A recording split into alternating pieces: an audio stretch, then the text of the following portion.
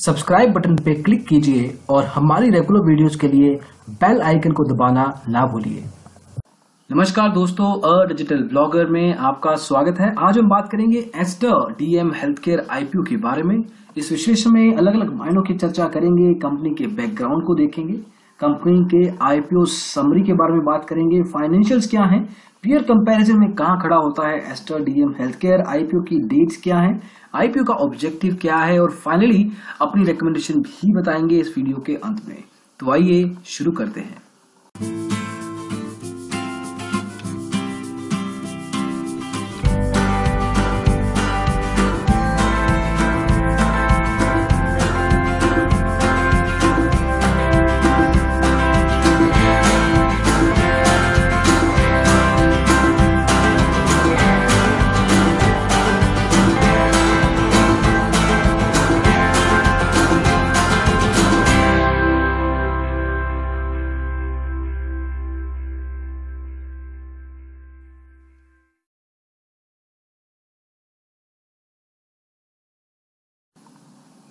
तो शुरुआत करते हैं कंपनी के बैकग्राउंड से। एस्टर डीएम हेल्थ केयर अलग अलग देशों में मौजूद है। 323 एस्टेब्लिशमेंट्स है इसकी। अब 323 एस्टेब्लिशमेंट्स का सेग्रीगेशन कुछ इस तरह से है कि जो गल्फ कंट्रीज़ हैं मिडल ईस्ट कंट्रीज़ हैं, उनमें इनके पास नौ हॉस्पिटल्स हैं 90 क्लिनिक्स और 206 रिटेल फार्मेसी जो इनके अलग अलग ब्रांड के नाम से चलती हैं।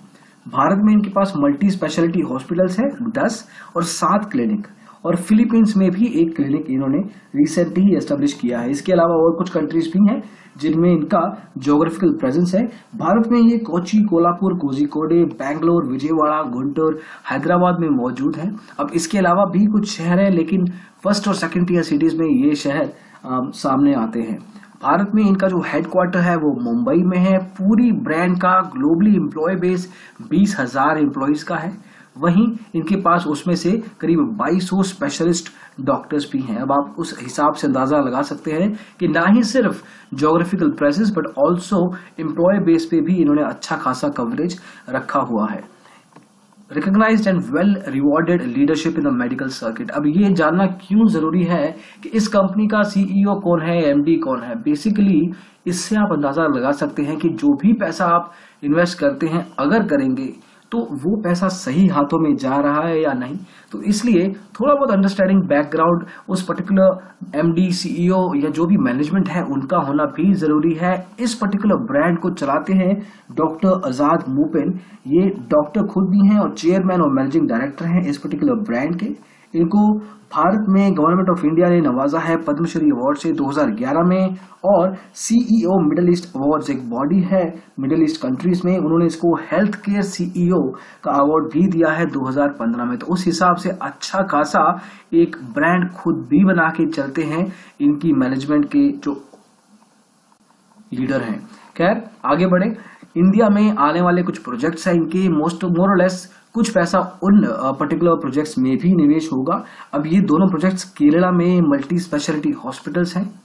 और वहीं अगर हम बात करें प्रेजेंस की तो जैसे आपको बताया गया मिडल ईस्ट कंट्रीज़ में यूएई में प्रेजेंस है इनका कुवैत जॉर्डन में प्रेजेंस है, और पहले बताया गया कि इंडिया में भी इनका अच्छा खासा फुटप्रिंट है।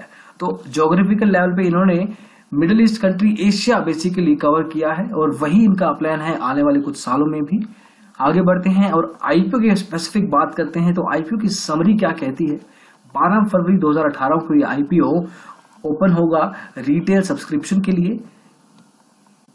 40 करोड़ इश्यूज़ ओवरऑल लेवल पे शेयर्स अवेलेबल रहेंगे बिडिंग के लिए। फेस वैल्यू दस रुपए रहेगा। कुछ ही दिन पहले प्राइस बैंड इसका फाइनलाइज हुआ है 180 से 190 रुपए के ब्रैकेट में। अठहत्तर शेयर्स का बिड अलॉटमेंट रहेगा। कम से कम आपको अठहत्तर शेयर्स की बिडिंग करनी होगी। उसके बाद आप अठहत्तर के मल्टीपल्स में भी लॉट का बिडिंग कर सकते हैं। टोटल बिड अमाउंट करीब चौदह हज़ार चालीस रुपए से चौदह हज़ार आठ सौ बीस रुपए की रेंज में रह सकता है। डिपेंडिंग के एक्चुअल प्राइस बैंड क्या बनेगा। और एल तथा बी दोनों में, दोनों एक्सचेंजेस में ये पर्टिकुलर स्टॉक जब भी लॉन्च होगा तो फाइनलाइज वहीं पे किया जाएगा। 35 प्रतिशत रिटेल एलोकेशन है और ओवरऑल जो इसका आईपीओ का साइज़ है, हज़ार करोड़ से थोड़ा सा कम 980 करोड़ रुपए है तो definitely one the top IPO माना जा सकता है ऑलरेडी इस साल का।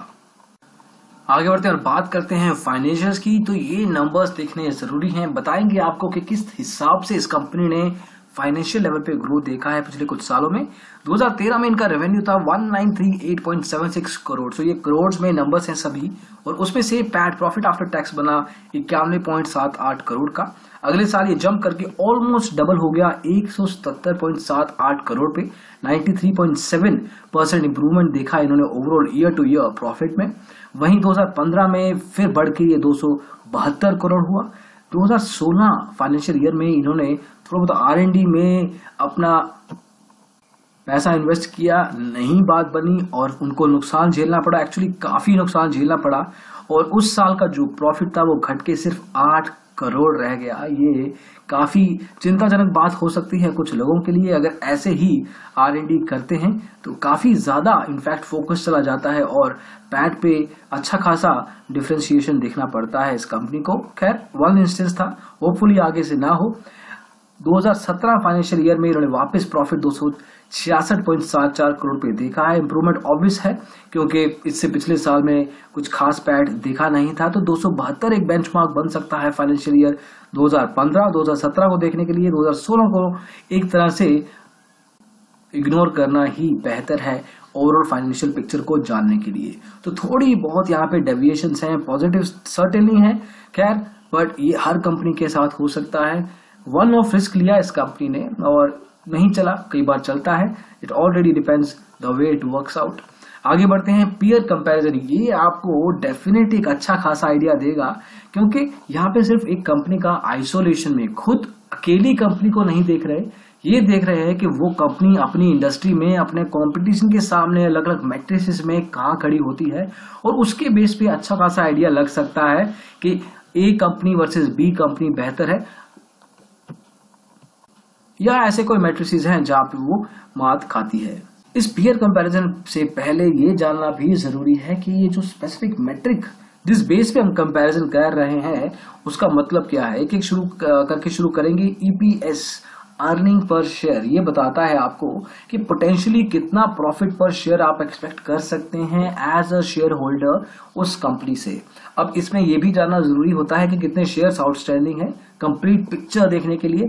लेकिन फिर भी since peer to peer comparison कर रहे हैं तो किसी ना किसी लेवल पे इसको ग्रेश ही सही, लेकिन अच्छा आइडिया आप ले सकते हैं।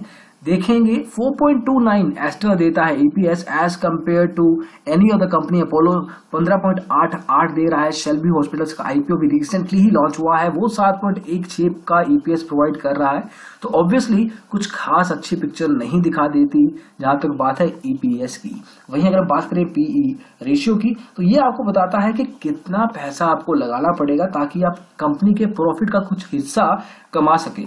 ऑब्वियस ये बात है इसमें कि जितना कम रहेगा पीई रेशियो e उतनी ही बढ़िया बात है एक इन्वेस्टर के लिए।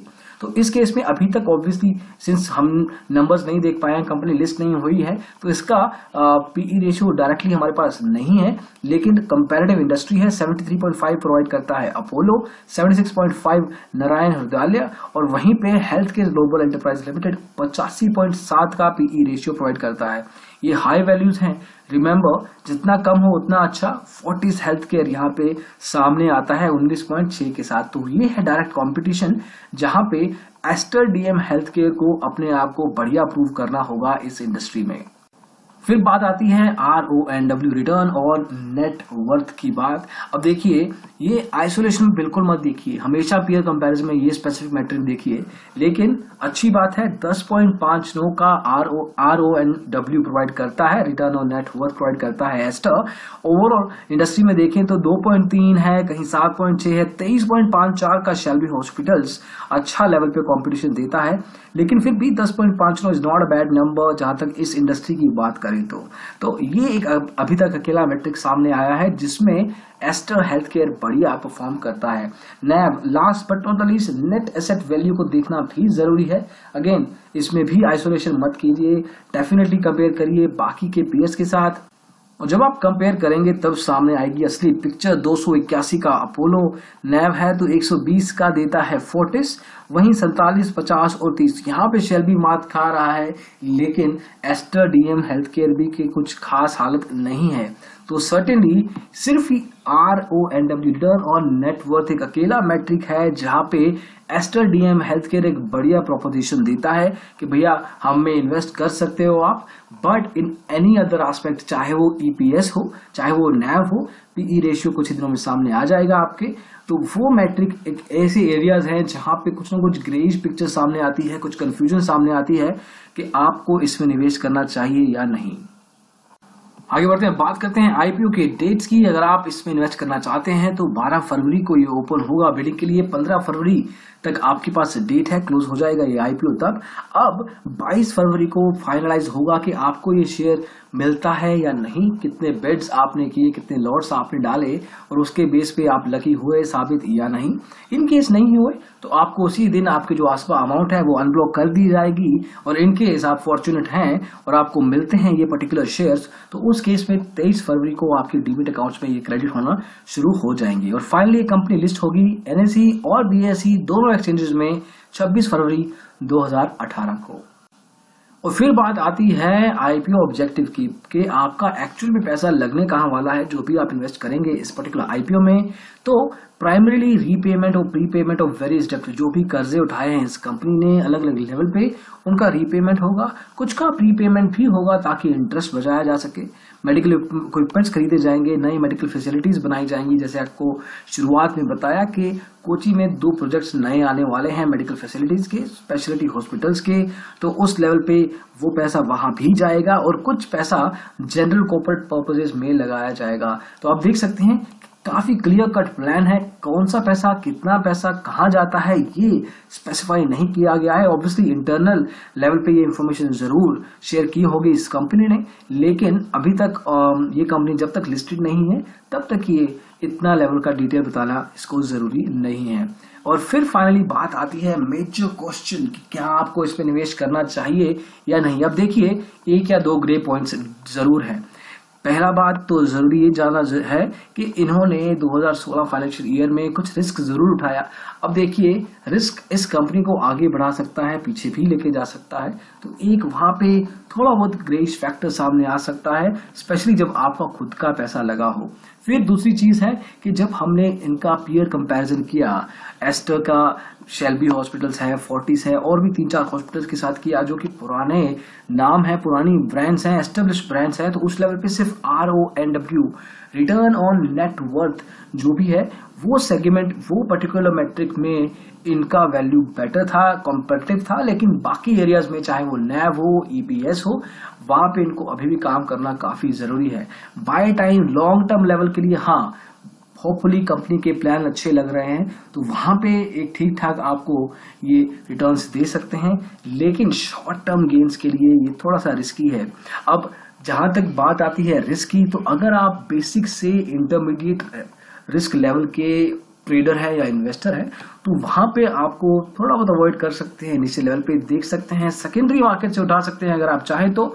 लेकिन अगर आप रिस्क टेकर हैं, अगर आप पुराने लेवल पे आपने रिस्क उठाए हैं अलग अलग आईपीओ लेवल पे या अपने ट्रेडिंग के दौरान तो उस केस में डेफिनेटली आप ट्राई आउट कर सकते हैं। शाहिद अफरीदी, जो लोग क्रिकेट जानते हैं, वैसा वाला हिसाब है। व्हाइट बॉल पे छक्का जा सकता है व्हाइट बॉल पे आप आउट भी हो सकते हैं। तो उस केस में चॉइस आपका है। आपको अगर रिस्क लेना है तो आप ले सकते हैं, छोड़ना है तो आप एक कन्वेंशनल बैट्समैन की तरह इसको लेट गो भी कर सकते हैं। खैर, ये हमारा रिकमेंडेशन है पर्सनल सजेशन है। बाकी इन्वेस्ट करने से पहले डेफिनेटली आप अपने ब्रोकर या फाइनेंशियल एडवाइजर से बात ज़रूर करें। हमारा इसमें कोई क्लेम नहीं है। अगर आप डिटेल में जानकारी चाहते हैं इस रिव्यू की तो आप हमारी website a digital blogger dot com slash IPO slash Aster DM health care IPO review पे जा सकते हैं। ये लिंक वीडियो के डिस्क्रिप्शन में आपके लिए रहेगा। अगर आप निवेश करना चाहते हैं, डीमेट अकाउंट खोलना पड़ेगा, उसके लिए आपको टाइम है। एक या दो दिन में आपका डीमेट अकाउंट खोला जा सकता है। उसके लिए आप digital blogger dot com slash apply IPO पे क्लिक करें। डिटेल्स दें कॉल बैक अरेंज होगा और आपके लिए अकाउंट सेटअप कर दिया जाएगा। तो इस वीडियो में बस इतना ही। आशा करते हैं कि वीडियो आपको पसंद आया हो। अगर ऐसा है लाइक ज़रूर करें शेयर ज़रूर करें और डेफिनेटली हमारे चैनल और डिजिटल ब्लॉगर को सब्सक्राइब ज़रूर करें यूट्यूब पे। Thank you so much for watching this video bye